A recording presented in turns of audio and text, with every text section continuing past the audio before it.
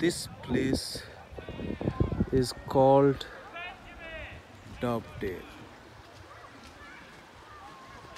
There you can see a beautiful view.